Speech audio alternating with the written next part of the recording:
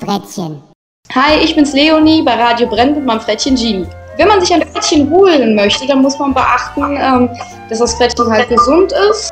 Wenn man das von privat holt, ähm, dass man sich voll die Eltern anschauen kann, dass das Frettchen allgemein einen Eindruck macht. Okay, jetzt nicht so wie sie hier, sie hängt hier gerade so wie ein nasser Sack, aber sie ist auch, ist auch halb am Schlafen. Ne, kleine Maus? Ja, ähm, wie alt sollte ein Frettchen sein, wenn man, wenn man es sich holt? Äh, ja, ja, also wie jeder möchte. Ich habe Genie bekommen, da war sie elf Wochen alt. Man kann aber auch natürlich ältere Frettchen holen. Ähm, ich habe die Genie aus ähm, einem Zoofachmarkthandel geholt.